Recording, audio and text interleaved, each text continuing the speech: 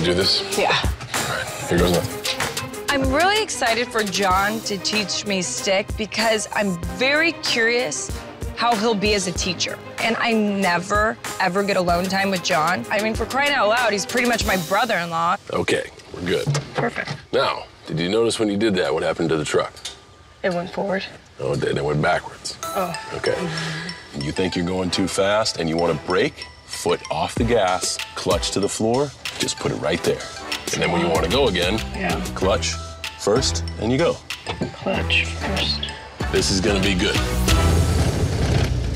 All right. Oh. Easy. That's what happens if you jump off of it. Okay. One more time. Clutch, that's okay. Mechanically, it's probably not good for the car. Just stay on the clutch.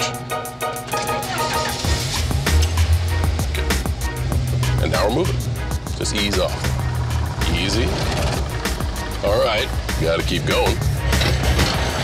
Dang it. Now try to get in the second. Little bit of gas, there you go. Clutch. Uh, That's okay, clutch. Neutral. That scared No, me. no, I know. You get frustrated with it, she'll get frustrated right back. Clutch in, clutch in. Sorry. almost, almost. I almost had it. Dang it, Yeah. that's really hard to turn. It is. Let's get back to neutral.